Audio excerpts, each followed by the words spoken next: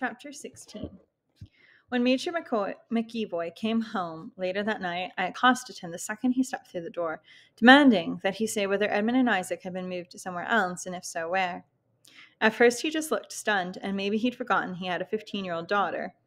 And then he smiled a little and said, I don't think we've been properly introduced. I'm Lawrence, Lawrence McEvoy. And I thought, okay, I can play the let's be all polite game too. And I said very sweetly, like the well brought up girl I am, and I'm Daisy, and I want you to and I want to know where my cousins are. He smiled a little and looking at me in a searching kind of way for a minute, maybe trying to figure out whether I was planning to overthrow the English government with the information I wheedled out of him. And then, I guess remembering that I was just a kid, all on my lonesome, caught up in the war, or more or less on the same side, he relaxed a little and said, They've been moved to, to a farm just outside of Kingley, which is a fair distance east of here, and I'm sure you'll see them again, all in good time. I was kind of taken aback by his willingness to breach the name, rank, and serial number stuff and tell me where they were. And after that, I didn't know what to say except possibly, how about showing me exactly where on a map and leaving me the car keys in case we decide to go see them in the dead of night and never come back? I don't get nearly enough credit in life for the things I manage not to say. Of course, in order to survive, Piper and I needed to have a plan, and I was the one who was going to have to make it because Piper's job was to be a mystical creature, and mine was to get things done here on Earth, which is just how the cards were dealt. There's no point thinking of it any other way. Our major plan, which we didn't even have to discuss, was to get back together with Edmund and Isaac and Osbert by hook or by crook. So far, I was pretty hazy on the details. I did, however, get so far as to find a road map of the British Isles hanging around the house and look up Kingley and Reston Bridge, and what I discovered was that good old Major Lawrence McEvoy had told me the truth.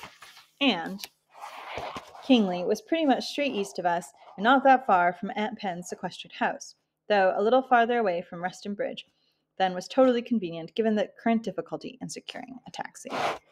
The extremely good news was that our very own Swimming and Fishing River was near the house. Swimming and Fishing River near the house was a branch of the same one that on the bridge in Reston Bridge went over, and I figured navigation wise that was a big plus. It is probably the best to say up front that maps are not what I'm good at.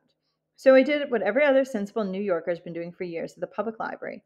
I tore the page out and hid it in my underwear. And from then on, I always kept it with me, just in case. We went to bed early that night and pretty much every other night because without electricity and without candle and with candles getting pretty scarce, there wasn't much point in sitting around in the dark.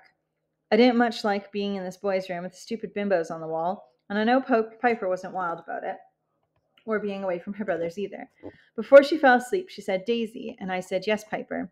And she said, I always wanted a sister, and if I had one, I would want her to be like you. She paused.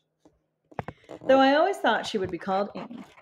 I laughed a little then and said, It's all right with me. You can just call me Amy if you want, Piper. But she looked a little hurt, and I stopped joking around and said, I practically am your sister now, Piper, and that seemed to satisfy her on the subject, and she didn't say anything more about it. I didn't tell her that I had never wanted a sister. In actual fact, had spent most of my recent life desperately not wanting a sister and that only because of the circumstances in which I was likely to get one, and besides, I never imagined how much I could love someone like Piper. Though having said that, there probably isn't another person anything like Piper on this side of Kingdom Come. She asked me what was going to happen to us, and I told her I didn't really know, but nothing could hurt us when we worked together. I asked her, Do you know what invincible means? And she nodded because she's read more books in nine years than most people read in a lifetime. And I said, Well, as long as we're together, that's what we are. Then she said in a croaky voice, Mum must be so worried about us. And there was something in the silence that followed that sounded so desolate that I went and sat beside her on the bed and stroked her hair over and over and tried not to think about Aunt Pen's whereabouts or whether she was dead or alive. But you had to admit Piper had a point because if I were their mother, war or no war, I'd be half dead with worried by now, not having any idea how all my children were doing, and even if they were still alive. Eventually, Piper got quiet and I figured she was asleep, so I went back to my own bed and started thinking my own thoughts for a while. Now that I was away for Edmund, I could think more or less in private about all the changes that were jamming themselves into my life.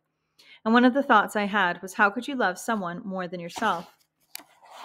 And worry about getting stuck in the middle of war and ending up dead was transferred onto worrying about keeping them alive. This was all confused by the fact I loved Piper in a protective kind of way, and Edmund in a slightly different way, to put it mildly, and given that I had thought and I had about as much experience with sex and boyfriends as I did with brothers and sisters. It was pretty strange to find myself suddenly overwhelmed with attention from the world's biggest warehouse of magical misfits. And just to complicate matters perfectly, I was starting to feel responsible for their safety and happiness and got panicked at the idea of them being captured and corrupted by the outside world. Now, this was a definite shift from where we'd started, which was all about them bringing me cups of tea and holding my hand, and exactly when the shift occurred, I couldn't tell you. My head was kind of spinning from trying to clear this up, and I wish there was someone I could have asked about it, since I'd never read about any similar kind of situation in all the magazines Leah and I used to buy, which I guess either makes me or everyone else on the planet some kind of freak. But for once, my fate was crystal clear and wedded to Edmund and Piper's and even Isaac and Osbert's. So that was that, and I just had to get on with whatever it was required of me. This made me not quite desperate, as I had been, and I lay very still. And if I lay very still, I could hear Edmund thinking about me, wherever he was, and I thought about him back, and the bond between us was complete. I guess the difference between Gin and me is that when Gin got shut in the barn, she thought Edmund didn't love her anymore, but because I could feel Edmund out there somewhere, always loving me, I didn't have to howl all night. Thinking of Edmund like that made the single bed suddenly seem too big, so I crept in with Piper, who didn't even stir, she was so used to it by now, and I could hear Jet breathing quietly under the bed. And so, with all the ducks I had left in a row, I was ready to fall asleep too. Chapter 17 Piper and I lived with the McEvoys like people living someone else's life. Because we were part of an army family, we got a much clearer idea of what was happening in England, though a fair amount of it we could have done without knowing due to its not entirely cheerful nature. We spent a couple of days gathering information from Jane McEvoy, who liked to talk and was pretty lonely, especially since her son was away at school in the north, and hadn't been heard of since the first bombs went off, and she was desperately worried that something bad had happened to him, which seemed fairly likely to me. I went down to get some water late at night and heard her in the kitchen with Major Mac, and he was saying he was certain the boy was safe and we'll all be together again just as soon as this bloody mess is sorted. He sounded amazingly calm and reassuring, and I could hear an occasional hoarse gasping, kind of like a cry, like an animal choking to death on a noose. And when I looked through the door, I could see Mrs. M shaking all over and him with his arms around her, looking exhausted and patting her over and over and saying, Now, now, love. And I decided to leave, live without a glass of water that night. The next, eyes, her, uh, next day, her eyes were red, but otherwise she seemed okay and to make conversations, she started telling us how proud she was of her husband and that one of manager McEvoy's big jobs was organizing a field hospital for local people because all the real hospitals had been taken over to fix the people who'd gotten bombed, poisoned, or gassed in London. They got shipped out here when the city hospitals ran out of room. She said that since most of the people were in the country were only dying of appendicitis, childbirth, and ordinary pre existing conditions, the field hospital was supposed to take care of them, while the more colorful cases of war injury got hospitals with proper walls and beds. At the beginning, she said, I went to the hospital every day. I read to the patients and played with those poor injured children and tried to make myself useful. But now they'll only let in military personnel inside due to security risk. She looked kind of outraged at this and said, as if I'm in some kind of danger to those people. And Piper and I exchanged a quick glance, and we were both thinking the same thing, namely, only if being unhinged is contagious. Later, Major M told us you'd be amazed at the number of things that can go wrong for civilians in a war. For instance, he said, let's take a kid. Let's say a kid gets appendicitis or breaks his leg. Well, there's no telephone to tell someone that the bone was sticking out of his thigh, no petrol to drive a car to the field hospital if you happen to know where it was in the first place, and a big shortage of antibiotics if you did manage to get to the kid to a surgeon somehow and wanted to make sure he or she didn't die of an infection a week or so later. He also told us about people with cancer who needed expensive drugs, and a pregnant woman he knew with Rh negative blood whose baby would probably die pretty much no matter what, and old people, some of whom would die much sooner or later of strokes or heart attacks or lack of drugs than some who already had. Another time, Major McEvoy started telling us about farm problems in the area that he was trying to control. And they mostly involved cows who couldn't be milked by electric milking machines once the emergency generator stopped working and had to be milked by hand, or and they could get mastitis and die. And now there's a side effect of war I bet you never considered. Once you start thinking about all the stuff that wasn't working, it's kind of hard to know where it all ends. Like the incubators for baby chicks, not to mention baby humans, and electric fences and hospital monitors, and those things that you use to shock people back to life when their hearts stop, and computer systems and trains and airplanes. Even gas supplies for heat and cooking were regulated by electricity said Major McEvoy. And how do you think you pump water out of a well? I felt like a science report coming on entitled Electricity, Our Helpful Friend. Then there was the problem of burying all the cows and baby chicks and people who died, and apparently there were a lot of dead things, and they were well on their way to becoming a big, stinking, rotten health problem. But that might have been too much information for me just then, and I thought I wasn't going to eat another hamburger or chicken leg again in a hurry. The good major was also trying to distribute things like milk and eggs and other farm food, so all the occupied people wouldn't die of starvation, and one or two other tiny details like that, so you could say he had his hands full, and then some. I guess by a combination of politeness and osmosis, I learned more about farming in the few weeks we lived with the McEvoys, than I ever was likely to find out in a lifetime on the 10th floor of the 86th Street apartment building, where the closest you ever got to agricultural produce was a corned beef sandwich from Zabar's with a half sour pickle, which I knew perfectly well used to be a cucumber, but how it got to be a pickle on a plate was anybody's guess. Anyway, all this stuff that was happening under the rules of the occupation which never really struck me as entirely clear. But as far as I could tell, meant you could go ahead and do whatever you liked as long as no one told you not to. I didn't really understand the occupation because it didn't seem like the kind of war we all knew and loved from your average made for TV miniseries. When I heard how it happened, I was pretty impressed by the cleverness of the guys who planned it, who, as far as I understood, basically waited for most of the British Army to be lured into crises on the other side of the world, and then waltzed in and cut off all the transportation and communications and stuff. So basically, they were defending Britain against its own returning armed forces rather than attacking it. Major McEvoy said, Think about it as a hostage situation with 60 million hostages. So I did. I probably missed some important parts of the explanation, but that seemed to be the gist of it. And whenever anyone went into more detail, I found my brain wandering to things like, I wonder if he dyes his hair, or whatever possessed them to choose that color wallpaper. They were obviously a few military types still left in England, mostly part of the Territorial Army, which sounds pretty impressive until you realize they're a bunch of moonlighting guys who spend a few weekends a year doing basic training and wishing they were the ones of one of the dirty dozen. Major McEvoy said it was more or less a known fact that the whole situation was temporary, and by the time the British forces could get organized again, it'd be all over and the occupiers would be history, i.e., dead. But I guess the invaders were trying to make a point and had never really expected it to turn out happily ever after for them. What impressed me was how simple it seemed to be to throw a whole country into chaos by dumping a bunch of poison into some of the water supplies and making sure no one could get electricity or phone connections, and setting off a few big bombs here and there in tunnels, government buildings, and airports. We also found out that the enemy was the one reason there was no gas for anyone, since Major McEvoy told Piper and me that petrol was one of the first things they took over when all the trouble started. The other reason was that you needed, guess what, to pump it out of the ground and into the tank of your car. 11 letters, starts with E. I guess it shows the importance of having your own army, even a small leftover piece of an army, because although the bad guys snatched up everything they could get their hands on, at least the good guys seemed to have genuinely dedicated to distributing what was left around the place, so as few people as possible died from neglect or outright stupidity. All in all, I felt a little guilty about the fact that while us kids had been living the life of Riley, a whole bunch of other people had been scurrying around like lunatics trying to keep the social fabric from unraveling. And my personal belief was there were too many problems to think about and not enough people to sort them out. In other words, they were desperately short of people to get things done, and that gave us a chance to get out and eventually get back to where we belonged. This was obviously our goal, but in the meantime, we figured that actually doing something might stop us from dying of boredom, which I was starting to realize was a major killer in a modern war. And so, for all our making fun of Osbert and his passion to join the war effort, I could now see that this was her ticket to getting back home, or at least that was the plan.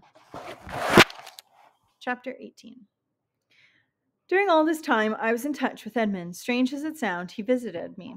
Not exactly like God visiting Moses or angels telling Mary she's knocked up with the Christ child, but come to think of it, not completely unlike that either. I had to be in a certain state of mind quiet, distracted, sometimes half asleep. And then I might feel kind of like an aura, like a lightning of the space behind my eyes, and I know he was there. I could smell his smell of tobacco and earth and something radiant and spicy like amber. Could feel the smooth glide of his skin, though I never exactly saw him. Once he had a cough and his breathing sounded slow and heavy. Another time on a cold night when he kissed me, I could feel his body shivering against mine. Sometimes I could just feel his eyes on me, holding me in his quizzical, wise dog gaze and I would push off with one foot and try to coast for hours on that feeling. Once, in a trance that wasn't quite a dream, an image appeared in my head, and I knew it was the place he and Isaac were living, and I could see the people living with them and how they passed the time. Another time, I heard the frail scratching cry of a newborn baby, and Edmund seemed tired and cheerless and disappeared before I could find out what had happened. Whether I could feel his presence or not, I talked to him constantly, telling him about Piper and Jet and the McEvoys in our life, the way it was now. And then in the middle of some rambling monologue, I might get to the feeling that he was there listening, as if I'd conjured him from thin air, pulled him out of a hat by the ears like a magician's rabbit. I was happiest when he just came and lay down next to me. I could almost feel the weight of his body against mine. His presence silenced, if only for a few seconds, the crackling anxiety that made my blood grate against my bones, and for a little while I feel melted and soft. Don't get me wrong. I'm not about to write a scientific paper about this. I believe in the spirit world about as about as not at all as the next person. I'm just saying what happened. In retrospect, I have to think it was kind of a connection that keeps that makes people decide to phone each other at the same instant after 50 years of not talking. You hear about siblings adopted at birth into families thousands of miles away apart, who both name their first child Vera, dogs that begin to howl the instant their owner's killed in a war, people who dream plane crashes. It's a sort of communication there's no particular reason to believe in under ordinary circumstances, and I'm generally not big on ghosts. Ouija boards and black cats are way down on the list of neuroses I suffer from. So you'll understand why I didn't make a big song and dance about my meetings with Edmund. I wasn't even sure I wanted to talk about it with Piper. I was trying to revamp my reputation. This time around, I thought I'd be the sane one. Chapter 19 Before we started angling to get into the wide world again, the first question I want answered was this whole smallpox epidemic thing. Major McEvoy looked kind of uncomfortable when I asked him and said it was not a likely danger to the populace at large at the present time. And when I put on my best shocked face, he said, Now, Deasy, how would things be if there was nothing to stop people wandering around spreading rumors and getting hysterical and trying to organize raids on the enemy and that sort of thing? Hmm? And then he gave me his name, rank, and serial number look and changed the subject. Not being entirely witless, I got the picture that if we were going to die, it wasn't going to be from smallpox.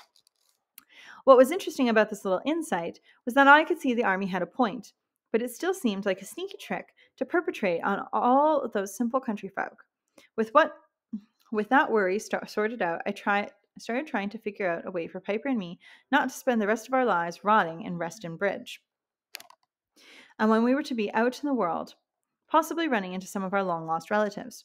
So after a few days sitting around twiddling our thumbs and going pretty much stark raving stir crazy trying to have a sensible conversation with while Albie whacked us on the head with a plastic sword every six seconds, we asked Major McEvoy to find us something to do because we were hard workers and wanted to help people, which was not a total lie, except the people we wanted to help were us.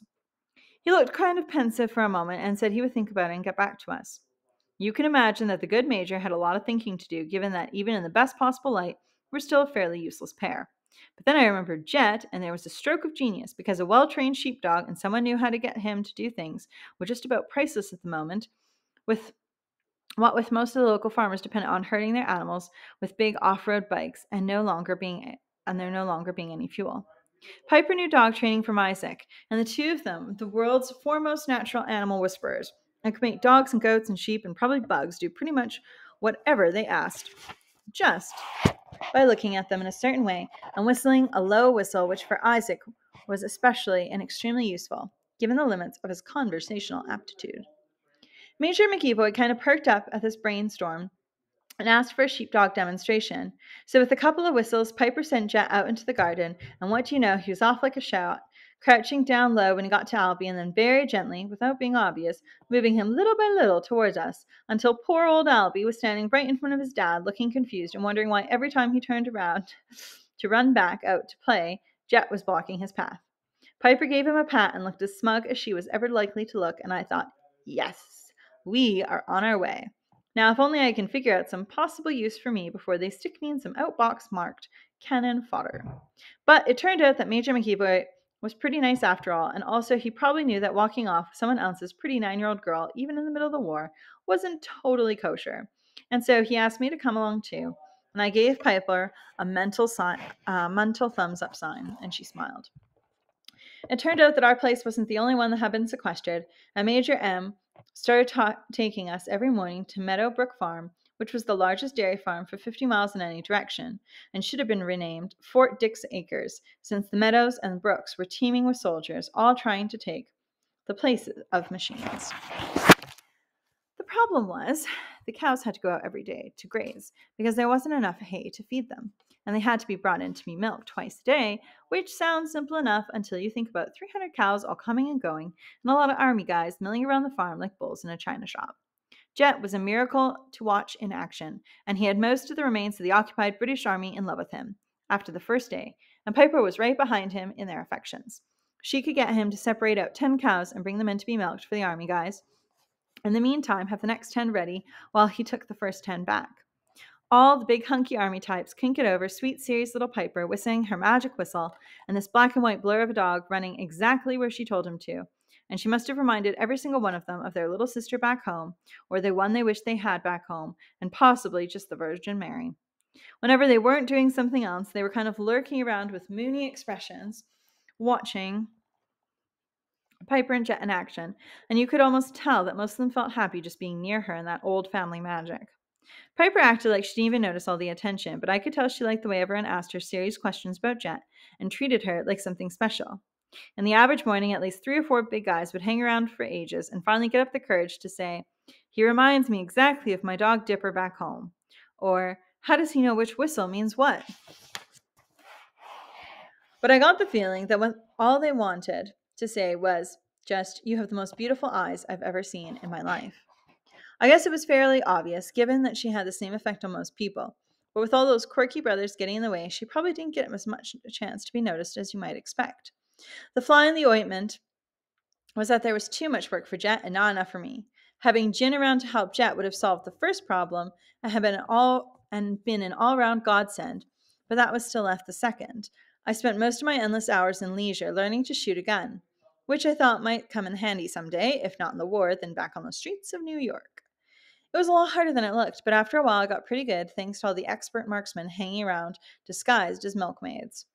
I tried raising the subject with Major McEvoy of getting Gin drafted into our section of the British Army, and you could tell for a minute he forgot that he was supposed to keep us out of trouble and away from thoughts of regrouping, because he just looked sort of absent minded and said, No, it wouldn't be possible to get Gin right now because of the situation on the roads, and also, she's probably as useful to Gateshead Farm as Jet is to us.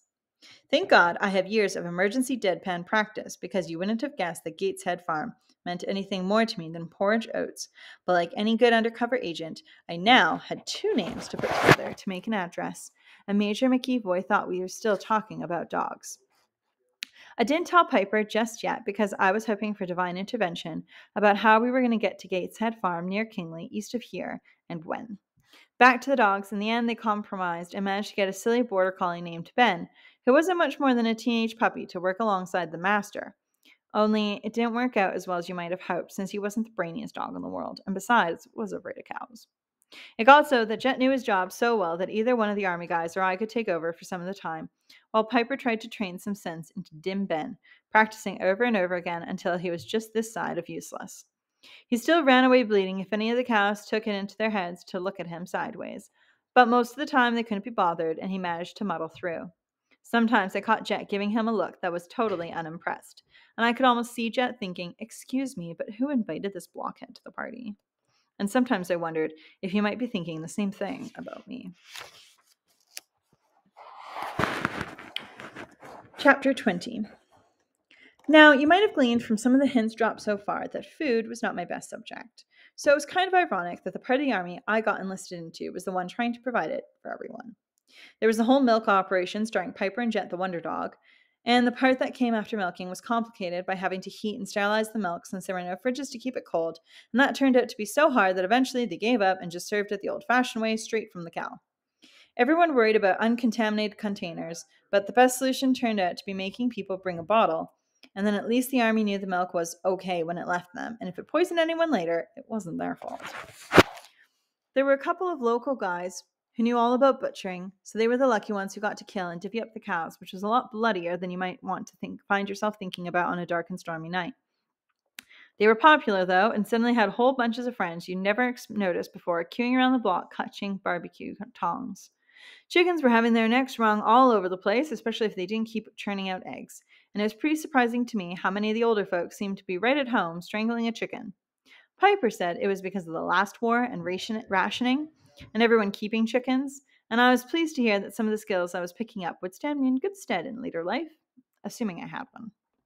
And finally, anyone who was healthy enough and willing to pick enough crops was hauled in to help, and that's where I came in. My first job was picking apples, which was somewhat more useful than hanging around on the outskirts of the Piper Appreciation Society. I got a lot of doubtful looks at first about whether I was strong enough to work so hard, but these days determination was nine tenths the law, and also a time went on where there were a lot of thin people around and I didn't stand out so much. I worked with eight other army people, including three soldiers and their wives and two other civilians. We started early in the morning and worked until it started to get dark, and after only a few hours, we drifted into cliques like we were all back in school. My partner was a local woman named Elena who was from Liverpool originally, so I didn't understand most of what she said for the first few days, and vice versa. Eventually, we started chatting about this and that, and soon the stories started coming out, and I heard all about her and her husband Daniel and how they met, what was their favorite movies, and how often they had sex. And though she was a lot older than me, and we barely spoke the same language, she turned out to be the kind of person you could talk to about pretty much anything without worrying that she'd report you to the Pope. She wanted to know all about my American and English families, even though she never met any of them except Piper, and how I ended up picking apples in the middle of a foreign country, not to mention the middle of a foreign war. Sometimes I thought I might implode if I didn't talk to another human about the events of my new life, especially the parts someone my age wouldn't be allowed to see in the movies. But every time I was just on the verge of pouring it all out to Elena, I changed my mind at the last minute just in case. Luckily, it seemed riveting enough to her that I was an American and had been sent over by my evil stepmother, which got her all clucking and tutting, and all I had to do was look kind of tragic and say nothing at all for a few minutes. And suddenly, I had a new best friend enlisting a whole bunch of apple pickers into hating Davina on faith, which cheered me up for ages. When we started work, they gave us big boxes to pack the fruit in. And the basic trick was not to throw the apples in, or they would bruise and rot and ruin the rest of them in the box, which suddenly made sense of the one bad apple expression my teachers used to trot out all the time, and two if you counted Leah. We had baskets and ladders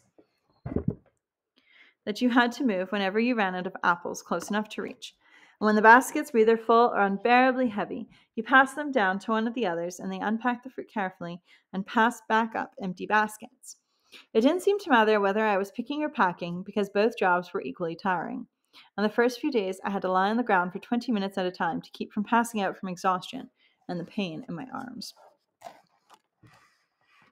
Elena was nice about it and just kept working around me. It was such hard work that at first I thought I wouldn't be able to stand it, what with every muscle in my body aching and me hardly being able to climb into the truck or get out of bed the next day. But I did it because pushing myself farther and farther past what was possible made me feel calm, which is hard to explain, but something I was good at. One of the guys who worked with us was a few years older than me, and I didn't like him much, but unfortunately, the feeling wasn't mutual. He was called Joe, and he started hanging around trying to get my attention by telling stupid jokes while we worked and asking totally duh questions like, What's it like being a Yank? Elena felt sorry to Joe due to him not being the sharpest knife in the rack, especially when it came up to picking up rejection vibes. But it was easier to feel sorry for him if you weren't the one being eyed up like prey. Maybe he's lonely, she said, and I just looked at her, wondering if she expected me to open a home for the socially challenged or what. Then she started giggling, and I had the feeling we were ta- thinking the same thing namely, some people are lonely for all the right reasons. After that, we pretty much just ignored him. Most of the workers, except Piper Jet and a few others and me, lived at Meadowbrook, so we were picked up every morning at 7 and taken home at 7 every night. And every night we fell asleep in the truck and just about managed to wake up for some food and climb into bed, and that was our day. It took a lot of getting used to, but after the first week, we compared muscles, and I told Piper all about Elena, and it almost made up for the fact that when we had a day off, neither of us got out of bed at all. Even Jet didn't seem interested in moving out from under the bed, except when we called him for food. The plums turned ripe at about the same time as the apples, and sometimes we moved from one to the other just to vary the routine. But it was much simpler to strip a tree of apples because they're easier to handle and you didn't have to move the ladder so often. And when the plums fell off, the trees. They rotted and attracted thousands of wasps. So Elena and I stuck with apples when we could. Elena was what you might call a big girl, and you could tell she wanted to ask me about being so thin. But being English, she would rather have sawed her own legs off at the knees. I caught her looking pretty puzzled a few times when she saw me nibbling at bits of lunch when everyone else was wolfing down anything in sight. And I could tell, war or no war, she was thinking, if only I had her self control. I found out she'd been trying to have a baby for seven years and was smack in the middle of some special last ditch treatment when the war broke out and she couldn't get any treatment now and was 43 and didn't know if she'd ever get another chance. I told her she should borrow Albie for a few days if she wanted to appreciate how great it was to be childless. But when I looked at her, she was just managing to smile, and her eyes were kind of bleak, and I wish I hadn't said anything at all. After about 10 days of packing, some of us moved over to broad beans, and that was worse because you were always bent over with a whole new set of aching muscles. But at least the beans tasted nice when you got them home and cooked them.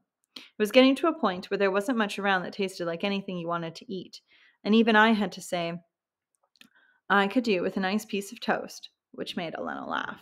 One night, we were driving home through the usual checkpoints, and Piper and I were sleeping, and Joe, who sometimes came with us to stay at his parents in the village, suddenly took it into his hand to stand up and get off show offy. And I guess thinking war was some kind of like open discussion forum where everyone was really interested in your opinion started shouting a whole bunch of obscenities at one of the checkpoint guards. And when Major McEvoy told him to sit down in a really icy army tone of voice, he ignored him and kept shouting stuff about Johnny Foreigner being an effing bastard and worse. And then, in an almost lazy kind of way, the checkpoint guy who'd been looking at him raised a gun and pulled the trigger, and there was a loud crack, and part of Joe's face exploded, and there was blood everywhere, and he fell out of the truck onto the road. Piper watched the whole thing without moving a muscle, but the shock of it made me retch, and I had to turn way over to the side of the truck. Someone else was screaming. When I turned back, the whole world seemed to have slowed down, grown quiet, and from inside the silence, I watched the guard go right back to chatting with his friend, and I saw Major McEvoy's head roll back for a moment, and his eyes close, and a look of despair crumple in his face. And in that split second, I wondered whether he was really that attached to the kid. And then it was the horror that I looked down and saw that Joe was still alive gurgling and trying to move the arm that wasn't caught under his body. And when I looked back at Major M, I realized he was doing what he felt was his duty as a member of the armed forces, defending a British national. And still in slow motion, he was climbing out of the truck, and his plan must have been to get Joe on his feet somehow, and then to safety, when I heard about a hundred shots from a machine gun. And the momentum of the blast hurled Major M backward across the road away from Joe with blood welling up in holes all over him. And this time you could see Joe's condition was 100% dead, with brains spotted everywhere, and our driver didn't wait around to see what might happen next, but just stepped on the gas, and as we drove away, I felt tears on my face, but when I put my hand up to wipe them, it turned out to be blood. And nobody turned and nobody made a single sound, but just sat there shell shocked, and all I could think about was poor Major M lying there in the dust, though I guess he was much too dead to notice. There never were seven more silent human beings in the back of a truck. We were too stunned even to cry or speak. When we reached Reston Bridge, our driver, who I knew was a close friend of the Major's, got out of the truck and stood there for a minute, trying to get up the courage to go inside and tell Mrs. M what happened. But first he spoke, he turned to us, and in a voice that sounded broken and full of rage, in case anyone needed reminding, this is a war. And the way he said those words made me feel like I was falling.